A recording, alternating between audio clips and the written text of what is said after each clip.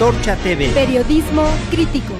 Después de nueve días de plantón y la constante gestión por parte de integrantes del movimiento antorchista, se logró que la delegada estatal de la Secretaría de Desarrollo Social, Anabel Ponce Calderón, hiciera el compromiso de liberar recursos para los campesinos de los municipios de San Rafael, Martínez de la Torre y Nautla. Guillermo Piñamina, dirigente regional del movimiento antorchista, dijo que desde las oficinas centrales de la Sede Sol en México se giraron instrucciones para iniciar con los trámites para depositar los recursos. Por tanto, en esta primera etapa, se estarán nivelando recursos por 2 millones de pesos.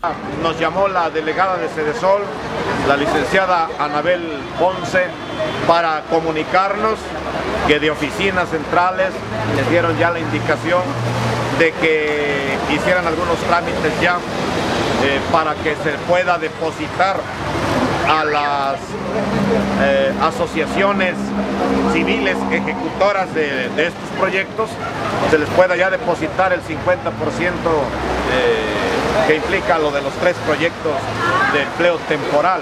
Piñamina recordó que los campesinos fueron inscritos dentro del programa de empleo temporal a consecuencia de las afectaciones que sufrieron con el paso del huracán Franklin el 10 de agosto del 2017. Finalmente, el dirigente campesino resaltó que la lucha de los campesinos obedece a que el gobierno no ha logrado combatir los males que aquejan a muchos sectores del país. Todavía la economía de ahí del municipio, de la región, eh, no se ha podido recuperar debido a que pues no hay la producción esperada de plátano y por otro lado los bajísimos precios que tiene el producto.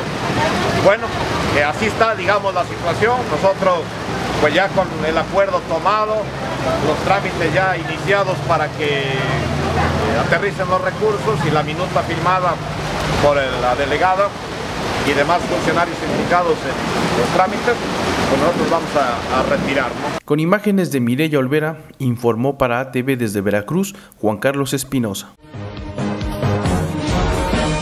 Antorcha TV. Periodismo crítico.